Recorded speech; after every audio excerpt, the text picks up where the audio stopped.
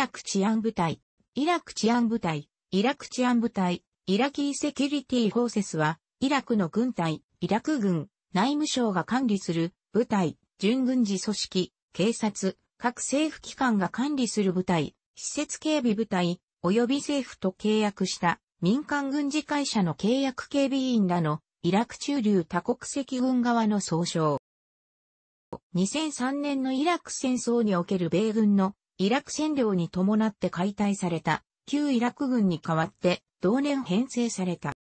国防省、 Ministry of Defence の管理するイラク軍、 Iraqi Armed Forces、内務省、 Ministry of Interior の管理する警察、イラク警察、準軍事組織、国境警備隊、連邦警察、各政府機関の管理する施設警備部隊で構成されている。現在、軍事組織25万6400人、警察組織34万人、国境警備隊2万8300人、施設警備部隊15万人及び契約警備員、民間軍事会社2万6000人の兵力を有する。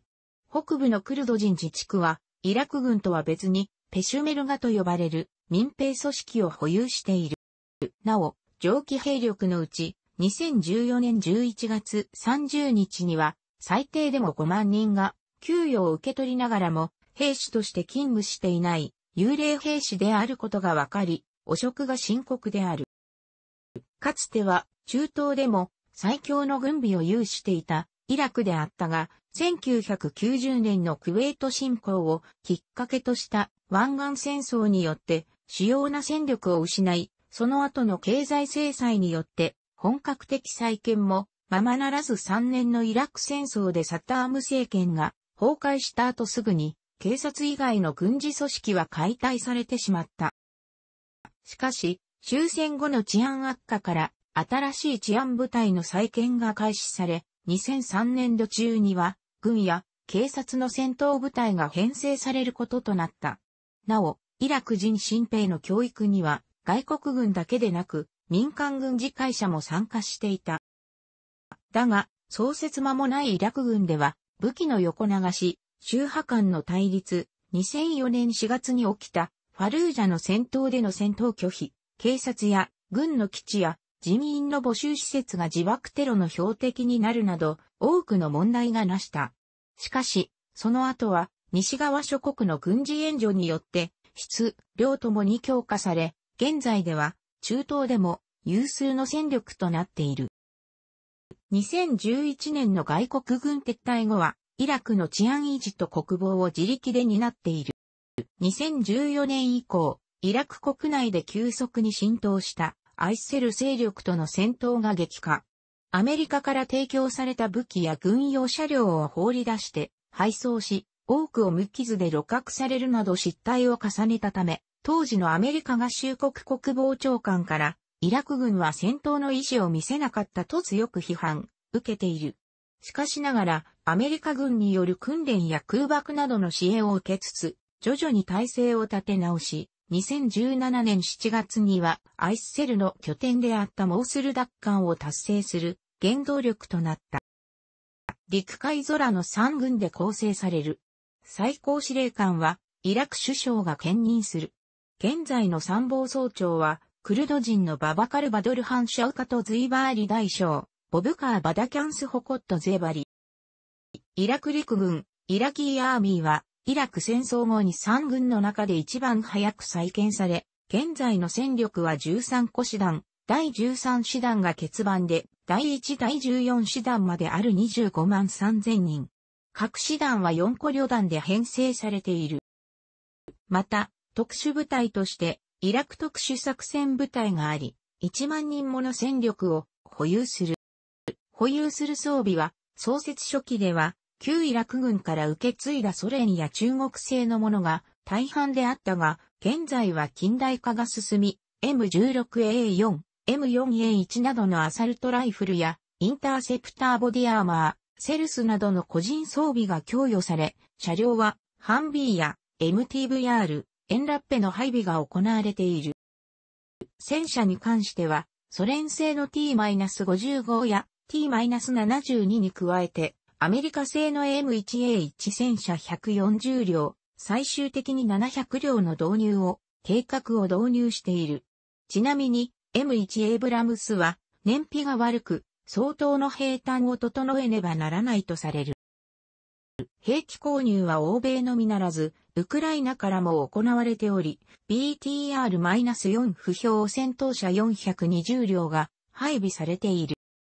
イラク空軍、イラキエアフォースは、現在3000人の人員と86機の航空機を保有している。保有する機体は西側規格のものが多く、海 -16 主力戦闘機 C-130 輸送機 UH-1 ファム用ヘリコプターなど。戦闘機は海 -16 戦闘機を36機購入しており、その後順次受領開始した。これにより、現時点で海 -16C、D 型1個飛行体規模の戦闘機部隊を保持している。1年に10機程度の引き渡しがなされている模様で、将来的に自立した防空網を築くための専属パイロットを米国内で訓練中である。なお将来的に2020年までには、計96機の F-16 戦闘機を購入すると言われている。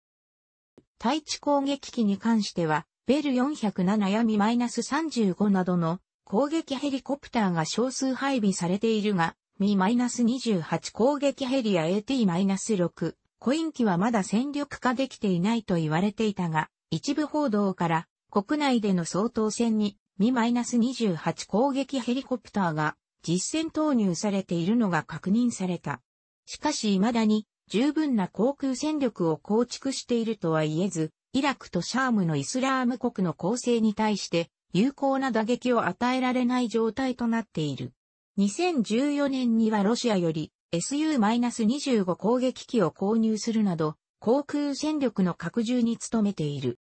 2018年には人員1万8000人と航空機550機まで規模を拡大することを計画しており、さらに2020年までに海 -16 を96機導入することも計画している。イラク海軍、イラキーネイビーは現在800人の海兵隊員を含む1500人の人員と哨戒艦艇4隻など85隻を保有している。哨戒中隊の他に、リブを使用する潜水中隊やディフェンダー級の小型ボートを使用するボート中隊なども存在している。イラク海兵隊は第一海兵旅団としてバスラのログシティを基地に3個大隊と1個補助大隊を保有し、港湾施設を占拠した過激派を相当する上陸訓練などを受けている。現在、第二海兵旅団が設立されている。2010年、2000から2500人程度に規模が拡大された。また、UAV が導入された。国内の治安維持を担当する。内務省の長官は、モハメド・アリ・ガッパンである。イラク警察、イラキーポリスサービスは、パトロールや犯罪の取り締まりが任務の組織。武装は軍や連邦警察と比べると貧弱だが、グロック19自動拳銃や AK-47 などを装備している。連邦警察と合わせ約34万人の警察官を有する。また、アメリカ警察のスワットに相当する緊急対応部隊を保有する。連邦警察、フェデラルポリスはイラク警察と軍のギャップを埋める形で編成されている準軍事組織 AK-47、PKM、RPG-7 など重火器で武装しており、軍事作戦にも投入される。2009年に国家警察から改名した国境警備隊デパートメント・オブ・ボーダー・エンフォースメントはイラクの国境沿岸警備を担当する準軍事組織28,300人で編成されている。特殊警察コマンド、スペシャルポリスコマンドースは、狼旅団とも呼ばれる内務省直属の大反乱部隊。2000人から5000人ほどで編成されており、テロ容疑者の確保、制圧を任務としている。施設警備部隊、ファシリティーズプロテクションサービスは、イラク政府の各機関ごとに、施設の警備や要人警護のために編成されている部隊。15万人以上の人員と契約警備員2万6千人で編成される。楽しくご覧になりましたら、購読と良いです。クリックしてください。